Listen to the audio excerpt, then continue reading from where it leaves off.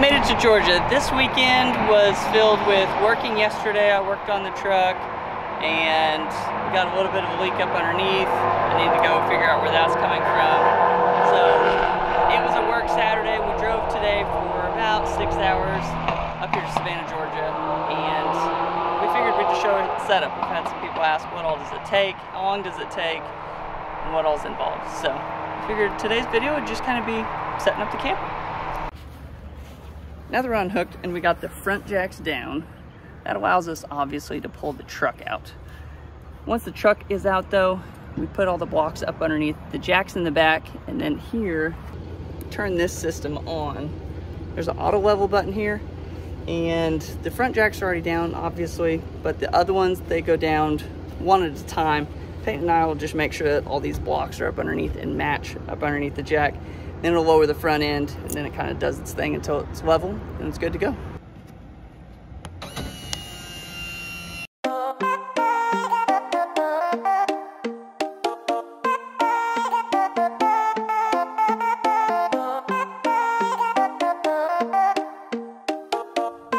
And just like that, success.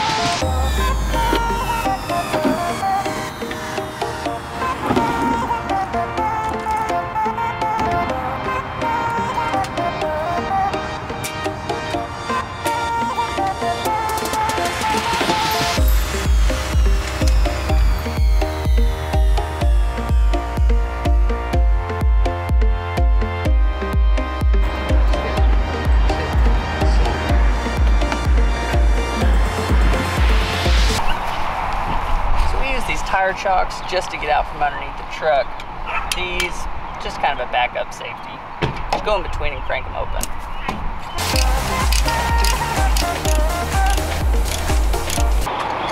This is not really my favorite box, but it's gotta be.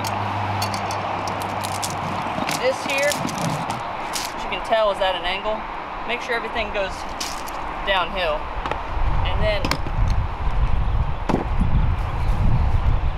gloves, very needed. This is a short run, so we'll only need one hose.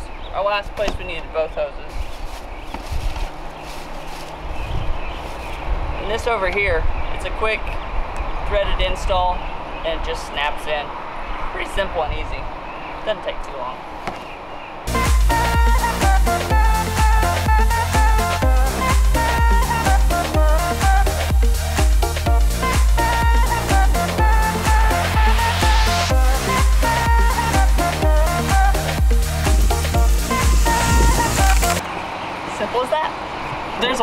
A seal here. We unscrew. That allows for the water line to come up underneath. I try and keep everything out of the dirt. Up and through. Easy connection. The other end of this, you really need to filter your water. So we filter the water and then we have a pressure gauge on here. These water lines are kind of known to spike sometimes and it can break your septic.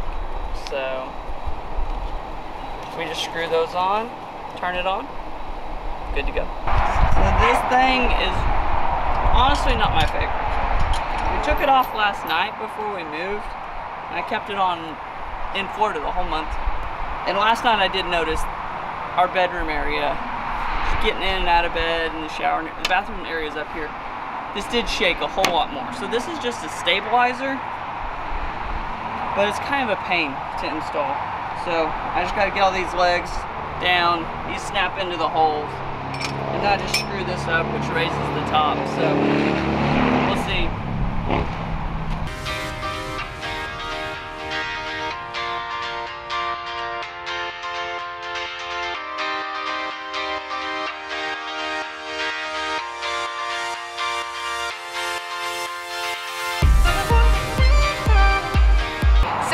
Typically, as soon as Preston levels it out, I head inside and I set up all the inside while he connects the power, the water, the hoses.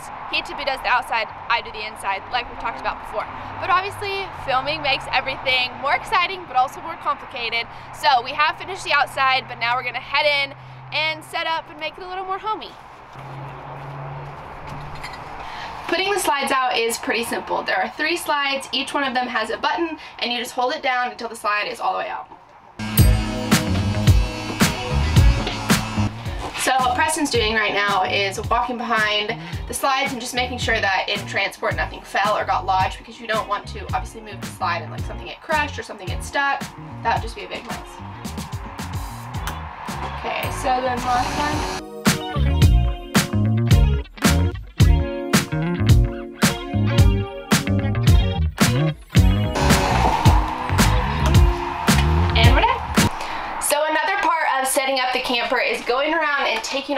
These cabinet locks. Now they are great for when we travel because obviously it keeps the cabinets closed and secure so nothing falls out onto the floor. But it's the same thing like on an airline. Operate under the same principle. Be careful opening the overhead bins because things could shift while you travel. So definitely be careful doing that. But if a bunch of things have shifted, I just like to go ahead and fix them and organize them while I'm setting up. That way my kitchen's not a mess like the next day and I already have a project. Um, so just go ahead and do that, but definitely be careful when you're opening your cabinets. Filming has been a struggle today. I like can't speak, can't put together coherent sentences. There's like a lot of bloopers going on. So I'm hoping if I have a little bit of a treat, it'll make me better. Preston's been laughing at me because I'm just like, I can't do it today. So this is gonna be my magic. I'm gonna be able to film and speak because I'm having chocolate. And it's really good. Buc-ee's dark chocolate caramel sea salt fudge. 12 out of 10.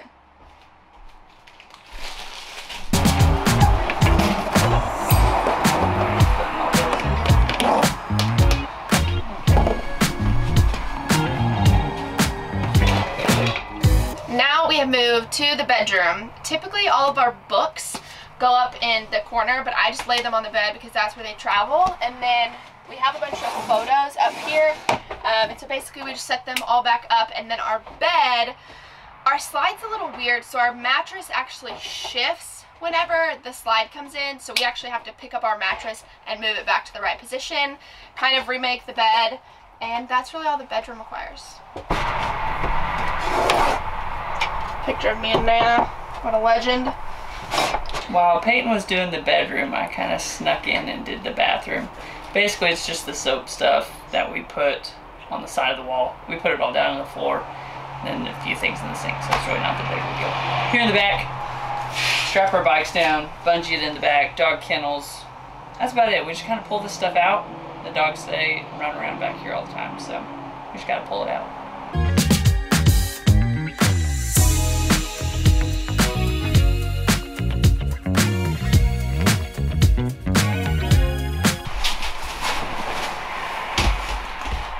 Video was a little bit of a different style and a little bit shorter, but this is the reality of moving days. We break down the house, we drive a lot, we set up the house, and we rest.